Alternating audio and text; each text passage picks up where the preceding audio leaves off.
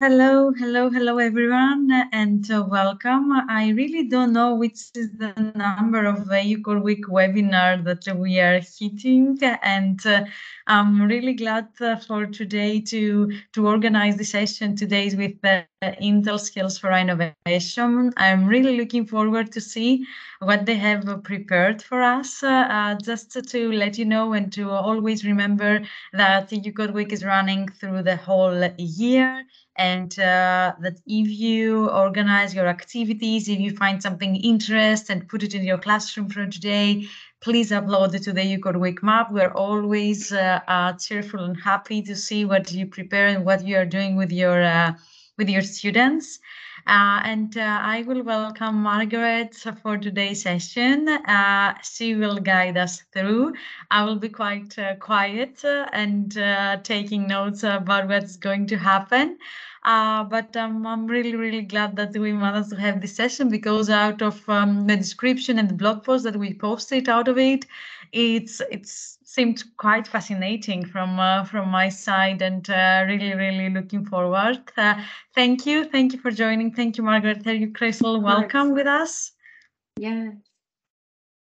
Thank you. Yes, thank you everyone for for joining um, us today. Um, like um, like I said earlier, a few little guidelines on the screen um, for everyone, but I don't want to take up too much more time. Um, we're already five past the hour, so let's go ahead and jump in.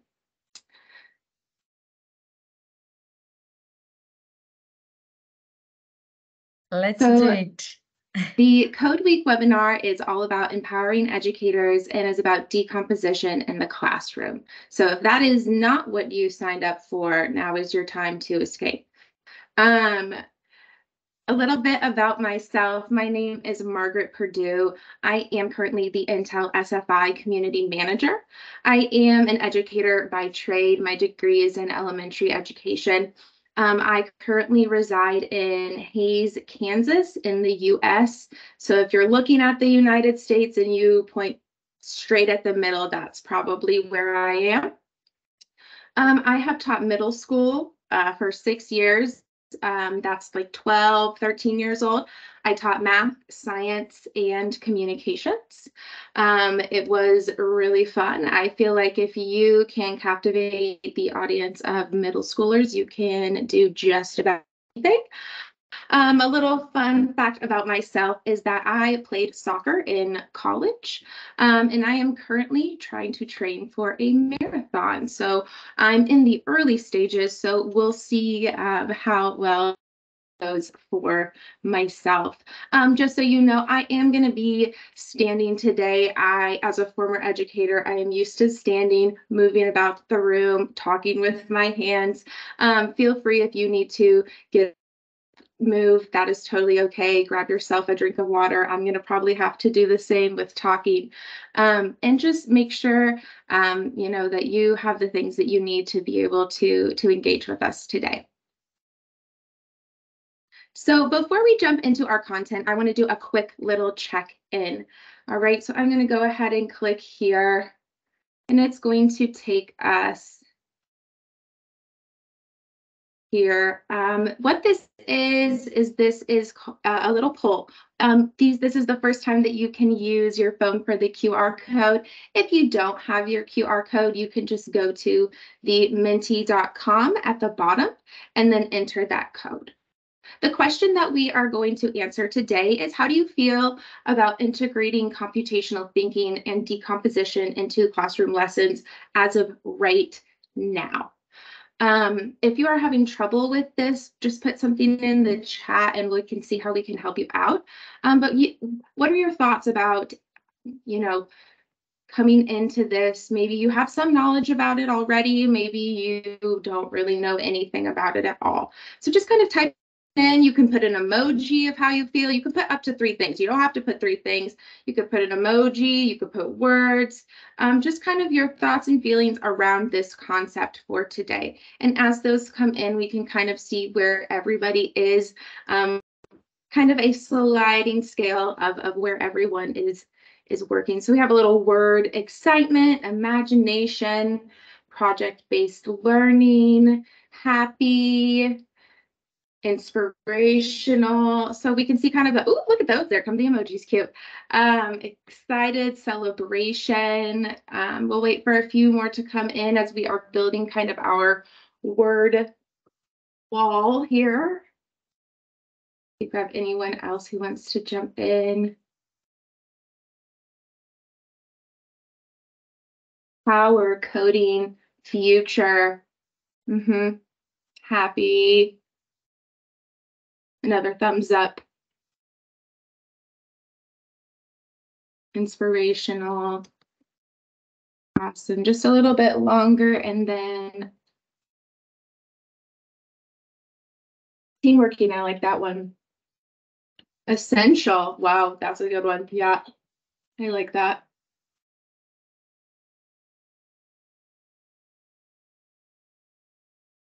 Awesome. Give just a little bit, maybe 20 more seconds if anyone else hasn't been able to get onto there, if you're having a little bit of difficulty.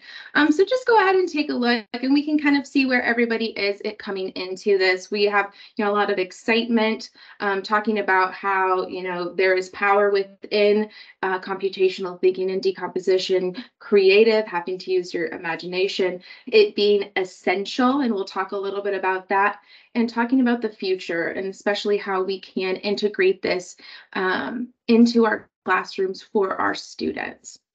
Inspire, very cool. Oh, they just keep coming. Algorithms, great. Abstraction, ooh, okay. I like that. All right, we're to go ahead and, and keep um, moving forward. All right, so before we jump in again to the content, I'm going to do a quick little video, okay? And this quick little video is going to talk about the four elements of computational thinking and um, a little example of how another educator is kind of integrating those things into their classroom and kind of breaking down and giving us a little definition of each of those things. Let me know if you can't hear and we'll make sure that the audio is working.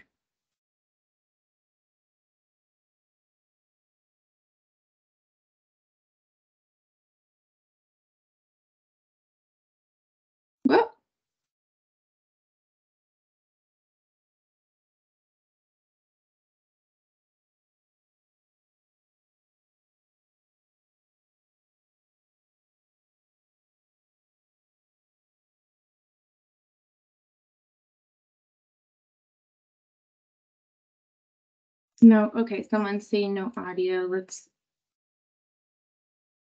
let's make sure we have, let's try that one more time then. And how hard it is to take into account all the situations a computer might run into. We also learn about working together, a trait so important in programming it has a special word, pair programming. The children learned about dealing with failure, debugging we call it, when you look carefully through the code you've written and use logical reasoning to explain where the error is. And very importantly, they learned that programming is very creative. There is no one way to solve the problem. What else?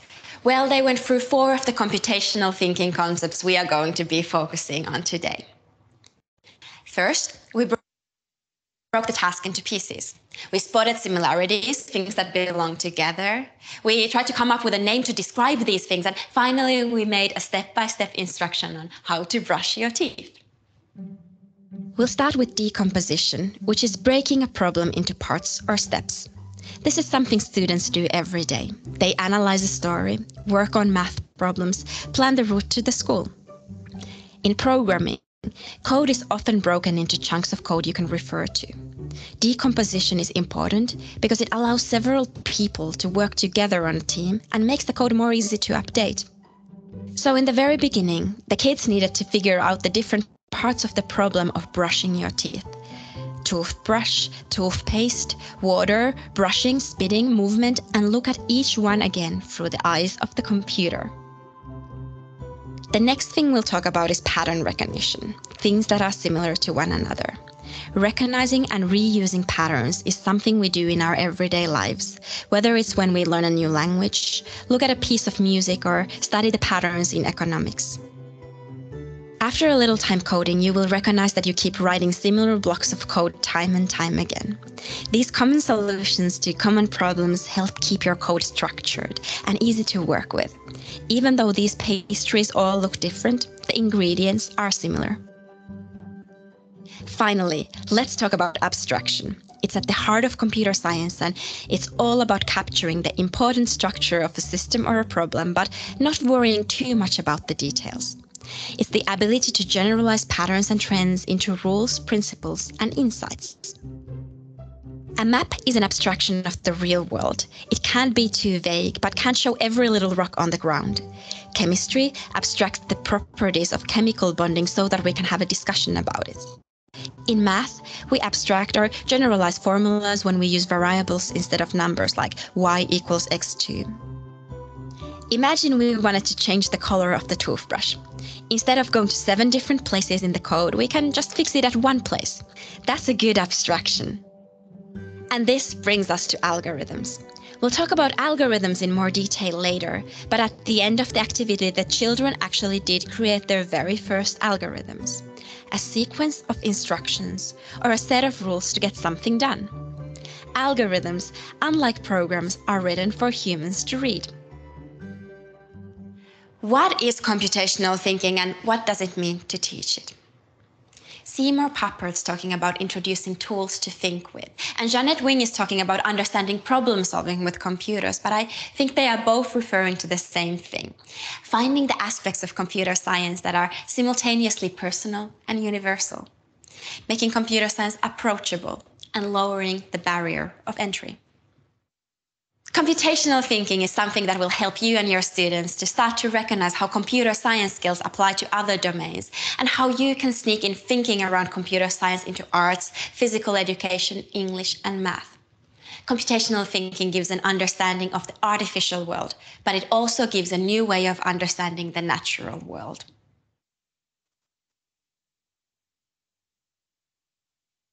Uh, what is Margaret, you're muted. We're, like she was saying, we're going to take some of those items um, from the, the computer world and see how we can integrate those into our everyday teaching. So in our overview today, what we are going to be covering is we are going to be um, going through understanding what computational thinking and, and a decompositional mindset is.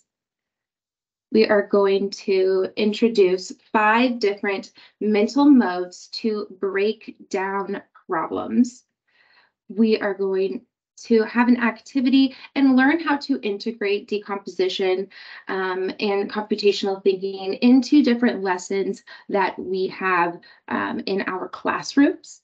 And additionally, we are going to, at the end, at show uh, and showcase the Skills for Innovation platform where you can continue this type of learning. Um, so let's go ahead and we were, are going to jump in and talk a little bit more about decomposition. So when we think about decomposition, we're really thinking about solving a complex problem, but breaking it down into more bite-sized pieces and being a, in more manageable tasks. So we can think of this if if you have a child or or one of your students. The an example I like to give is if I were to tell um, a child, a student, go clean your room. That is a big task. That is a big problem, right? There are many little steps that go into cleaning that room. That could be, you know, when we talk about cleaning a room, it's not just one thing. We have to break that down into many different tasks. Now, our students may not know how to do that yet. So, um, or your child may not know how to do that yet. They, you may say, go clean your room, and they do a couple of things. And there's a large likelihood that you are going to go check to see if that room is clean. And in fact, it is not going to be. And that's where computational thinking and decomposition comes in. We can take that task of cleaning the room, the problem, the room needs to be clean, and break that down into a subset of more manageable tasks for our child. Now, this is something we as adults, we do this all the time without even thinking about it, right? If we were to clean our room and we were to walk in, we were like, okay, I'm going to put, you know, my dirty clothes in the laundry bin. I'm going to hang up my coat. I'm going to make my bed, do this. I'm going to get the vacuum we have broken it down into really manageable steps. However, if our, our students and our children have a harder time breaking those pieces down. And that's where we as, as an educator can come in and make those more manageable bite-sized pieces. Okay, yes, the objective, the goal is clean the room get your room to to a cleanliness state so what are the steps that we need to do to get there Okay, first, maybe you you look at your floor. What is dirty? Okay, we're going to put the dirty clothes in the bin.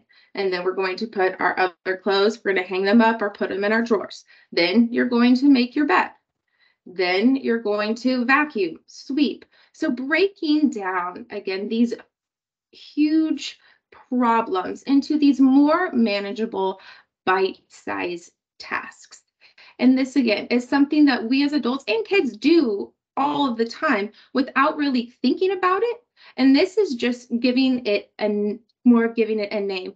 But the thing here is that we can utilize decomposition. We can utilize this strategy um, in, in our everyday classroom in helping our students understand and come up with better strategies to solve problems.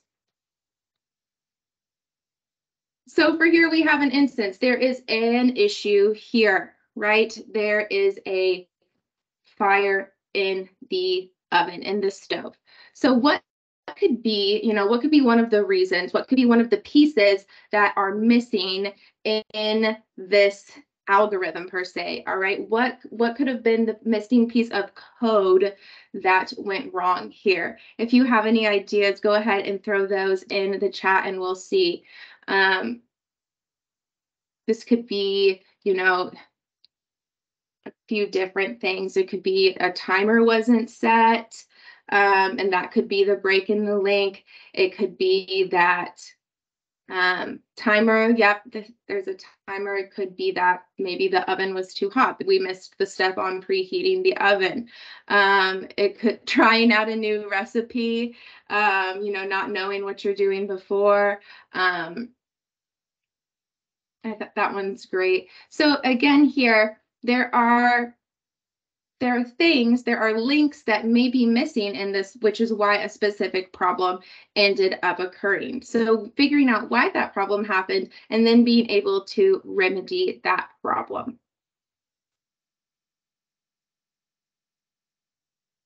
So what we're going to do now is we're going to talk about mental mo models or um, tools that we can utilize to help us break down these problems into more manageable tasks and to help us find solutions. So there are five different ones that we are going to talk about. Um, the five whys, user flow, 5W1H, the problem tree, and the fishbone diagram. Um, these are the five different mental models, and we're going to break down each one of those with a specific chart. This first one is called the five whys. It's where you repeatedly ask why to uncover the reasons to your problem. I also like to call this the toddler model because if you have ever been around a toddler for any point of time or you have had a toddler of your own, you are going to hear this question a lot, right? We need to get ready to go to school. Why? Because we are we go to school so we so we can learn. Why? So that we can have knowledge when we grow. Why? All right? So the five whys is is the toddler model okay? We're asking why until we get to that root cause um, if you uh, so now you know if you have ever been around a toddler if you have a toddler and they start asking why you can instead of being frustrated you can be just ecstatic that they are using decomposition and computational thinking, your toddler crushing it. Okay. So that is the first mental model is the five whys. The second one to look at is called user flow. Okay, and this is basically taking um, the steps involved in preparing the meal um, to serving them to try to identify any pitfalls that may arise right? So if we start here, we have a specific action and you make this a specific decision, okay, what could potentially happen? If I forget to uh, if I set my timer, then result, I'm going to know when it goes off and I'm going to know when to go back to check my item in the oven. If I, you know, if I choose to try a different ingredient than what it asks for, the result could be the cook time would be different. So this user flow is really looking at, you know, taking these things apart and trying to break down and identify where potential pitfalls could be. The next one is called the, I think, yes, the next one is called the problem tree.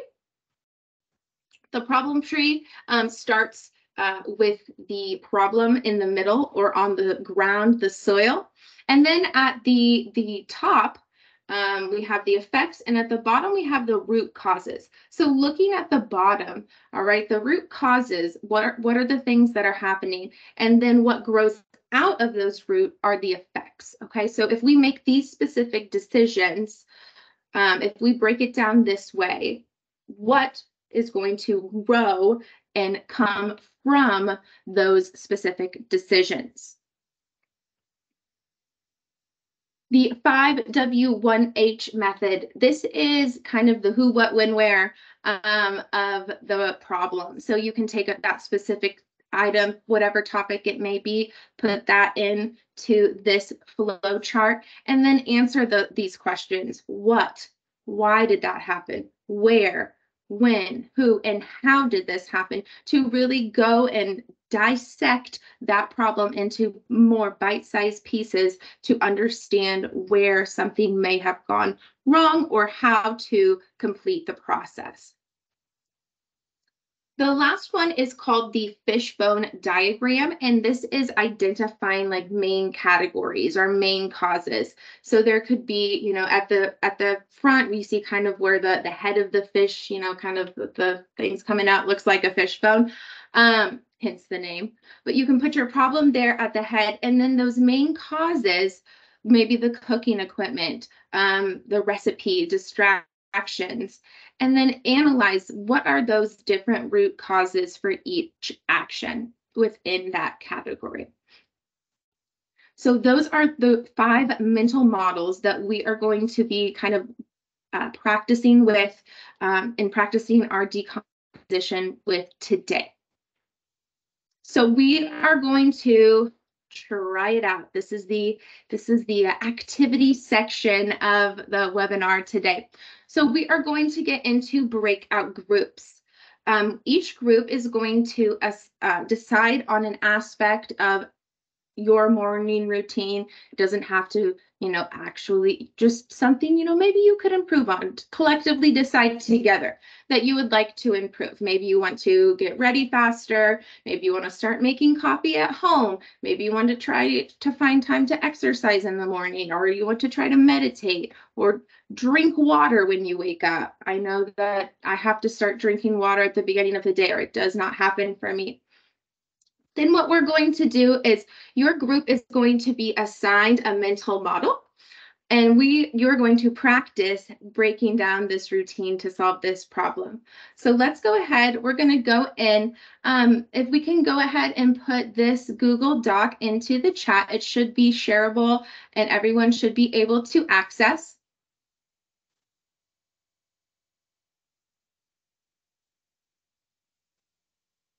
So we're going to put that in the chat. Here shortly. And while that is, it should be in there now. So go ahead, I'll let you click on that. And I'm going to kind of go over some of the instructions while we do that. So the directions for this activity. You are going to be put into groups, okay? We're going to be in five different groups. Um, so on each slide, you will see that there is the name of the mental model that you have, a picture of the mental model, and then the link. So what we're going to do is once you get into your groups, we'll, the, we'll get those all assigned. You're going to click on that Miro link. That link is going to take you to a page that really goes into a little bit more detail than the short, quick explanation that I gave you um, about your uh, your mental model. So you can go in, read that, maybe take a few minutes, just kind of skim through. And then what you're going to do is you're going to come back to your slide. And once you have um, your group members back at your slide, what you're going to do is you're going to agree on your problem. Maybe you're like, oh, we're going to all eat breakfast. Super, love it. Let's crush it. So then what we're going to do is you are going to put your problem for this one. Then you would say why? Because now to kind of fill this in, you are free to, you know, maybe put some shapes, some text boxes. Um, you know, this this is to kind of utilize this this model, this reference to solve this problem. Now, you don't necessarily have to, you know, I know some of them are smaller, but really try to talk through and work through the model um, in solving this problem. Then what we're going to do is we will come back and we will share our different models out. So when you're in your group, pick someone who would like to share your slide. Maybe you want to do rock, paper, scissors. I don't know, just some draw straws, something um, to figure out who is going to give a little summary of your slide and how you broke that down. Before we jump into that, are there any questions? If you have a question, go ahead, throw that in the chat right now. If I didn't cover something the great thing about this this Google Doc is we'll be able to share this and be able to see everyone's work all together. Okay, I'm not seeing any questions, which I guess means everybody understands it perfectly, which is great. Excellent. Yes, we're ready. Yes, we are needing to get put into five different groups. Yes, the rooms are assigned. Uh, just one question, Margaret. Uh, you and Christian, you want to assign in one group or uh, uh just uh, stay here and like make around to see? I can just hop into different groups. Yeah. Yeah. Yeah. Great. Great. Okay. And uh, so, so see you in 15 minutes. All right. Thanks, everyone.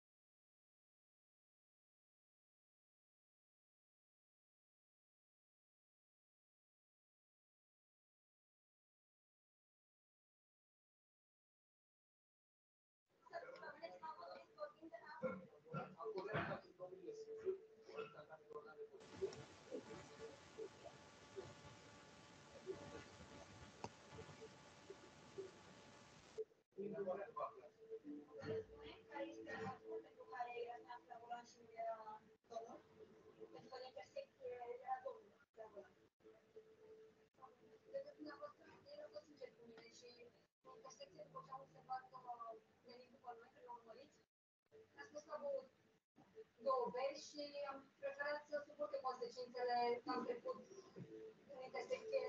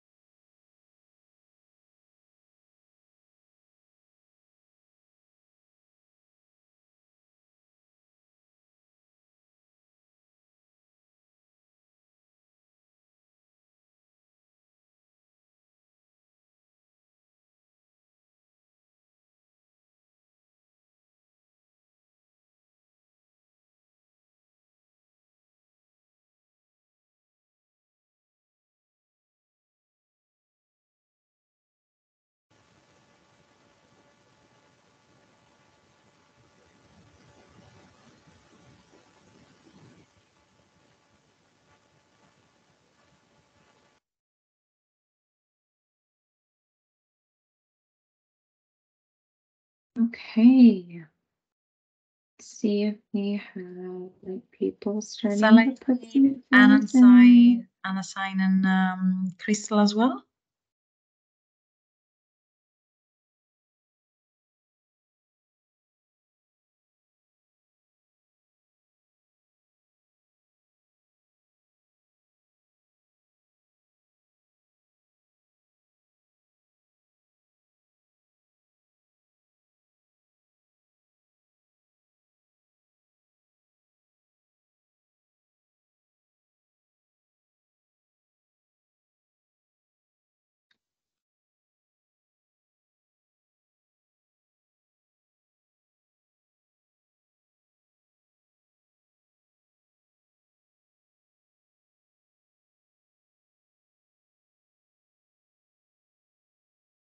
Let's just give it maybe a little.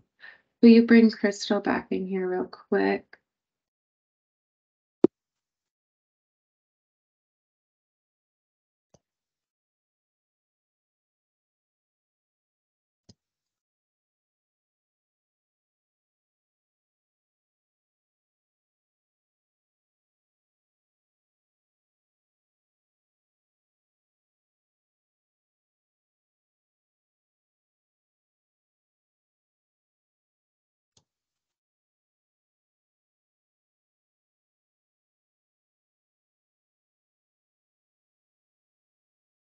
Okay, I think um, because of the different languages, we're having a little bit of um, a barrier. So let's go ahead.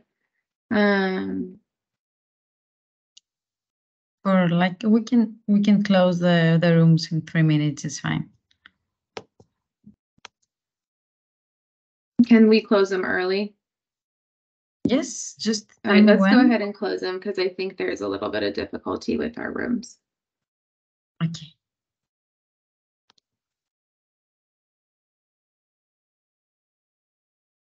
Because of the lesson plan. Hello? All right, I think we're all coming back. Um, I think we had maybe a little bit of confusion with the groups and there's just a lot of different things going on. So we're just gonna, we're gonna pivot a little bit. Um, and we are gonna kind of just talk through these different items. So if you wanna go ahead and have those up on your screen, the different groups, um, I will share um, the the different models and we can kind of talk through them and, and kind of fill it out a little bit together to kind of practice each one of those models. I think this is going to be a little more efficient and really give us um, an idea of how to use each one of these. So I'm going to go ahead and share my screen again and we'll jump back into it. Um, so this person who had the the first um, was in the first group for the five whys, they figured out that they want the problem was is they wanted to make their morning routine more efficient. So then in utilizing the five whys, what we would do is we would ask the question, why? Why do we want to make this morning routine more efficient? So if uh, in the chat, put um you know why would we want to make why would you want to make your morning routine more efficient what could be one of the reasons anyone can throw something in there um what what could be one of the reasons um maybe you are maybe you're someone who has a hard time getting up in morning to go to work earlier that's a great to improve health yeah that's a great idea um, maybe it's because you're like late all the time and you want to be more timely. Um, let's go with the one um, up here. Okay, which would then lead us, we say why. So we want to improve our health because why do we want to improve our health? What's the point of improving our health? Why would we do that? This is our toddler method, right? We want to make our morning routine more efficient. Why? Because I want my health to improve. Why? Why could we want our health to improve? To live longer. Yeah, that would be probably good. To have a more productive work from home life. Yes, that would be lovely. Okay. Okay, so why do we want better time management? Why do we want better time to take part in the marathon? Yeah, that would help. I'm gonna have to do a lot of a lot of running. So we won't have to go through this entire thing, but you can kind of see how this breaks down, right? We want to make our routine more efficient. Okay, why? Because it's going to improve our health. And then you can live longer, um, you have better time management, you can have, um, you can achieve your goals at work. All right, so that again is the five whys, and this can be applied to our thinking in our classrooms with our students. So if we apply the same thing um, to the user flow to make our morning routine more efficient, okay, what is a potential action that we could take to make our routine more efficient in the morning?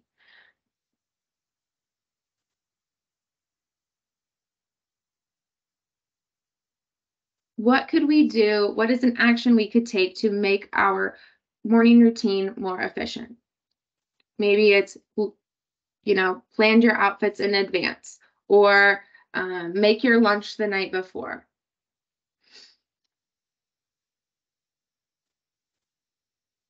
Wake up earlier. Mm-hmm.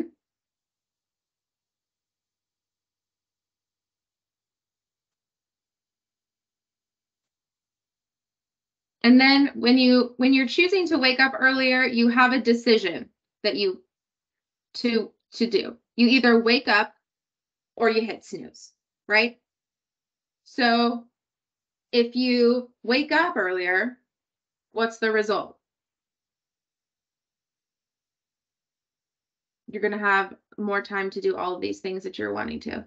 If you hit snooze, that's the action. The result is going to be maybe you're late maybe you don't have time to eat breakfast maybe um you know you get stuck in traffic. Okay so that is how we kind of use the user flow. More time for myself and coffee yes. Mm-hmm. Otherwise you could be late. All right so then going to this, this next one, this is kind of the who, what, when, where, why, how, okay? So just, we'll, this one's pretty easy. So what we're gonna do is kind of just talk through this one real quick. So to make our morning routine more efficient, what can we do? Like we've already talked about a lot of these things. We could set an alarm, we could make our lunch before. Um, why? We've talked about we would like to be more efficient. We have goals that we want to achieve. Um, where? How are we going to do this? At our house? When? Establish when, who, you, and then how are you specifically going to accomplish that? Group four is the problem tree. So our problem is the soil, right? And we want to make our, our tree more efficient. So we have two different things we can do here. We can look at the root causes, right? What are the things that are are potentially happening that um, we want to look at changing? You're like you are if you wake up early then what's the effect? If you hit snooze what's what grows from that? If you have more time in the morning what grows from that? So that is really how to use the this problem tree. Again this is it's kind it's pretty repetitive when we're talking through it because these are all just different models for kind of the same thing, right? We're not reinventing the wheel with each one of these charts. It's just orchestrated in a different way um, for us to kind of organize our thinking. And so then the last one is the fishbone. We can look at the main causes again and break those items down. Setting your alarm. Okay, what are the what are the items that come from that?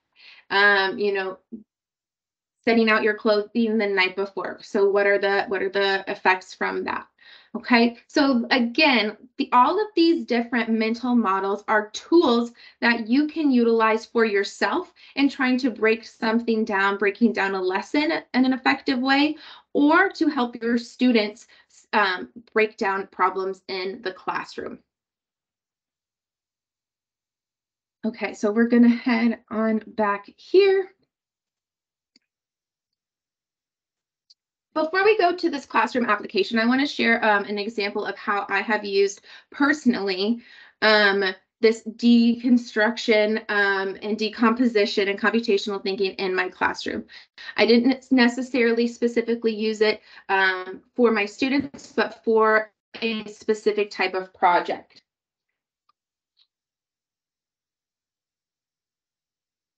So in my classroom, we had a unit where we did these huge PowerPoints over natural disasters. And what was happening was they were to make a PowerPoint and then they were presenting it. Um, and if you teach middle school or younger, um, you know, if you say, go make a PowerPoint, if that's the instruction, if that's the problem, what you get back is probably not going to be what you are envisioning. Okay. So, what I have had to do is I took the process of creating a PowerPoint, right? And I broke that down into very manageable bite sized steps for my students on how they were going to create this PowerPoint. All right, so the first thing that you were going to do, okay, you were going to have five minutes to work on your title slide. You're going to have however many minutes to pick your theme because middle schoolers, at least in, in Kansas, will spend forever going through and looking at all of the different themes adding animations, right? So we give them, we take the whole concept of creating a PowerPoint and break it down again into more bite-sized pieces. Again, for us, this would be kind of a no-brainer. Like, yeah, we start with this, then we break it down, use the bullet points, but this is a skill that we have already learned. And by integrating this decomposition in the classroom, not only are you teaching the content, right? We're not only learning about natural disasters, but they are also through this process learning the skill of how to create an effective presentation and how to break down they're visually seeing how those this whole project of creating a powerpoint was broken down into smaller skills that are more manageable to complete um, and that was just a quick example that I wanted to give to how I have utilized um, this in my classroom. So what I would like you to do now, um, either in the link that is in the chat or to scan with your QR code, go ahead and um, go ahead and go to this Padlet and you will see some examples of how we can utilize this in our classroom. Um, I will pull it up and you'll so the question is, what is one unit or lesson that you could incorporate computational thinking and decomposition? What I'm wanting you to do here is to read a post, comment on a post, and write your own post. You do not have to do it in that order. You can go rogue and write your post first and then like something and then, you know, comment on something later. Um, but really kind of thinking about, okay, not I attended this webinar. Awesome. Great.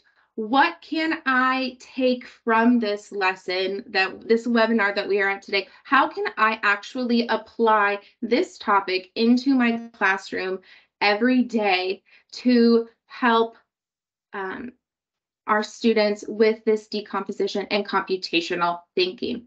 We have one, I'm English, use the fish, you use the fishbone diagram. Okay, that's awesome.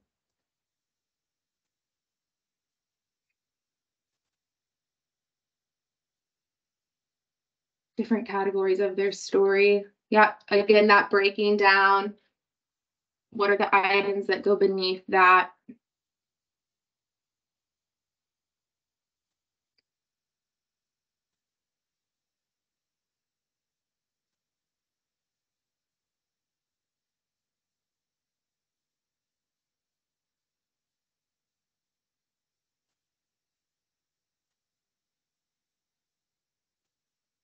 See what else we have going on here. Feel free to jump in. If you're having any difficulties, please put something in the chat and we'll make sure um, to help you out. Give it a little bit of time. Okay, designing and programming, programming a maze solving robot. Breaking down students would collaborate, experimenting with. That is really cool. Love that. Love that.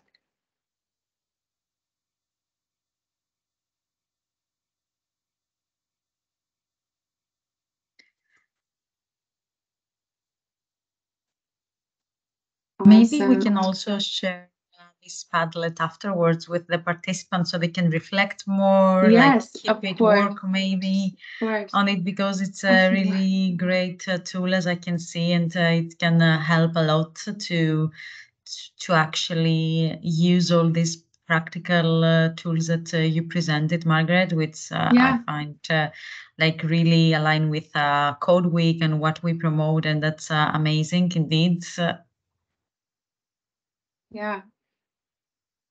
Yeah, and as you're you're reading, you know, you can comment on these as well. And what are you, you know, are there other things that you like, like you were saying that you were seeing on this wall that, oh, maybe I could take that piece as well. I haven't thought about how I could incorporate that in my classroom, but I really like that. I'm going to take that piece um, with me today as well back to my classroom. Asking why five times. Yes, the toddler method. We love it.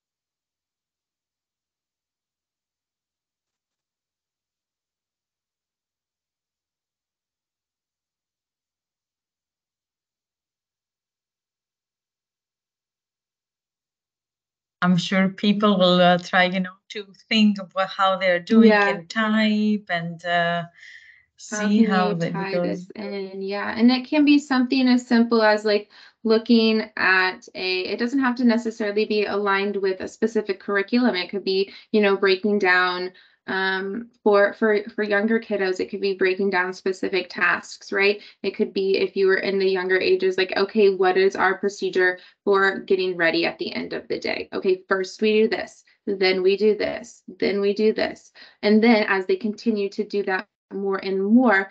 Um, and after we've broken it down, it becomes more um, automatic for them in their thinking.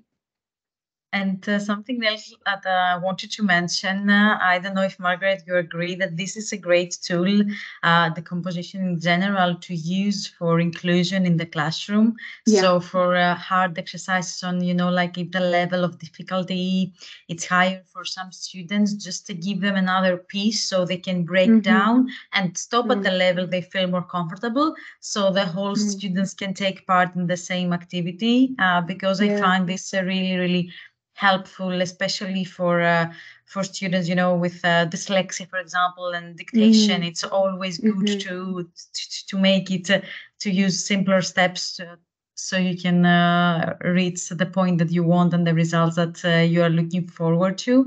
So for me, it's uh, it's a great tool to you know like think of how you can implement it uh, Right. in your classroom. Right, right. Yeah, for sure, for sure. Okay, well, thank you for everyone who um added something on our Padlet. That those were really, really great ideas. Um, looking at our next slide, we um want to go ahead and take a look at our SFI and our different starter packs. So today when we were talking about decomposition and computational thinking, this was pulled from one of our professional development items um, that is located on our SFI website. So if you go to our Intel SFI,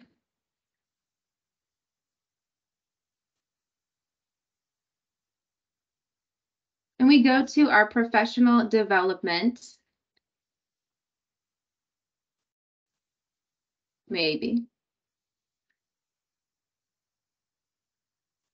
You will see that in our professional development area, we have four levels of professional development with courses, and then there are courselets in in those courses. So kind of its own little decomposition situation happening. Um, but where we were today is we were in the higher order thinking and SFI mindsets and skills. So if I click on that and I go in there, then we were in this integrating computational thinking in the classroom. We were in that second one today. And if we go in there, we'll see that there are three other units that you can complete for professional development um, for how to integrate computational thinking into your classroom. So this is the SFI platform. Not only do we just have this professional development that you can go in and all these modules are just housed on the website. We also have different starter packs that you can utilize. The starter packs are a great resource for, for teachers. Um, they have all of the, the educator guides, the slide decks, everything all ready for you. Um, a lot of them are have to do a little bit more with STEM, but some take just um, regular concepts such as the water cycle that you would already be teaching in the classroom and integrating technology um, into those different pieces using a wide variety of technologies such as Scratch, CoSpaces, um, Python, a lot of different really fun things. And these are all housed here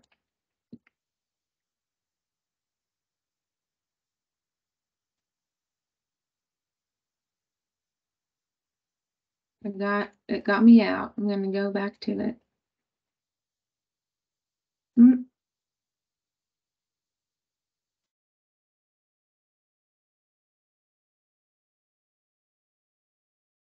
Well, kicked me out. There we go. So one more thing I wanted to talk about with you all today was our um, ambassador program. And our ambassador program is something um, that we really love um, and we have worked really hard on here at the um, SFI platform. It is a program where you can get more involved. Um, it is a community of users that are on the SFI platform where we share best practices, create new content, get to share ideas. Um, it also has some pretty cool perks that can come along with it. Um, to become an SFI ambassador, what we ask for um, the silver ambassador, there are two different levels. There are the silver and the gold. For silver, it is to implement one of those starter packs that I just talked about in your classroom, and then to submit a little essay reflection on that starter pack. The second is the gold ambassador, and that is attending um, the train the specific trainings for the starter packs and professional development. You um, then becoming an expert on the SFI platform and then teaching other teachers about the platform um, as well as working on creating some forum posts. So not only does this provide um, more value to you um, in, in the sense of having a space in a community, but it also provides um, things like being able to come on different trips, um, conferences, being included on exclusive webinars and things like that as well.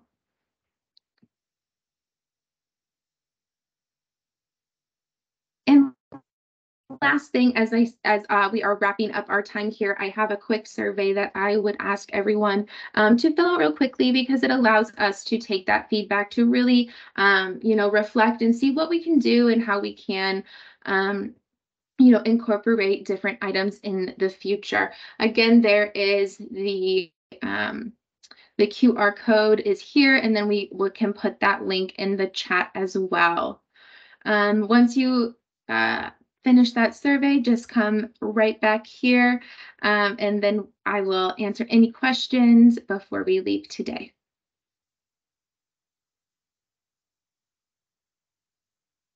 Thank you so much yes. uh, for this great presentation. I'm sure once people will take the survey, they can come back and ask uh, questions and see if they have uh, things. But uh, to to ask you directly for the whole presentation. Uh, I would like to say that we are gonna share everything uh, via email. Also like uh, the videos registration links some tips and also for uh, for the program. So uh, margaret and crystal will uh, help us uh, draft the email so you you will have it also written after the webinar in case you find it easier to have all information in one email. And also this will come together with a recording of the webinar because we will share this uh, with you as well. And um, yes, we would like to hear your comments and see if you enjoyed the session and uh, if you would like to see uh, similar sessions from uh, EU Code Week uh, webinar series, it would be great to to have your feedback as always. But thank yeah. you everyone. Thank you, Margaret. Also, yeah. thank you all of you that you bared with us. You you stayed the whole time with us. It was uh, great. And if you have any yes, questions, just thank uh, you. I know we had a yeah, we had a couple of technical difficulties, but I mean, that's education for you. If you're not having a technical difficulty, are you uh, are you really teaching? I don't know. um, and before we go, I was hoping we could grab a quick photo, um, just a screenshot. If if you would like to show um, turn on your camera. If not, that is totally okay. Again, my information is also listed on the, the screen. Um, so if you need to contact me for any other information, please feel free to, to do so. I'm going to give like a second or so for other people who maybe want to turn on their cameras. Again, no pressure, no pressure. Smile, look pretty, cheese. We love to see faces. Yes. Oh, look at uh-huh. all of you. Thank you. Oh my gosh. you look so great. Okay, are we ready? Are you cheesing? One, two, three.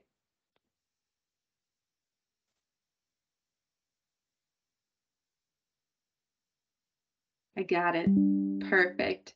Again, everyone, thank you so, so much for attending. Thank you for your participation. This was so awesome. I had an absolute blast. If you have any other questions, um, need any other information, please do not hesitate to reach out. Um, thank you so much, and I'll, I'll hand it back over. Thanks. Thank you. Thank you all. Indeed, it was uh, it was great, and also seeing uh, familiar faces of our community is always uh, such a great pleasure. Thank you all for taking time to to to be with us today. And uh, as always, uh, we will communicate every single detail of these sessions with all of you. Uh, stay tuned uh, for uh, all the things that are coming up for the EU Code Week community. As you see, we we have great uh, partners that uh, they are willing to share with you their uh, tips and tools and uh, uh, really hands-on sessions for your classrooms, which I find really inspirational myself. So thank you all. I'm not gonna keep you further. I'm gonna close the meeting. And first of all, I should thank um, Skills for Innovation for, and Margaret and Crystal for organizing this. And uh, on behalf of the EU Code Week team, if you need anything, we will be always here. Don't forget to upload your activities in the map. And if you find, uh, and if you need any further inspiration, uh, our new EU Code Week podcast series is now on. So you can uh, go and check our podcast. It's, a, it's a great uh, um, great thing to also share with your young uh, students. They will love it, I'm sure. So till next time, thank you and uh, have a nice uh, weekend just in one day away. So bear with me. we can do it. Thank you all for joining.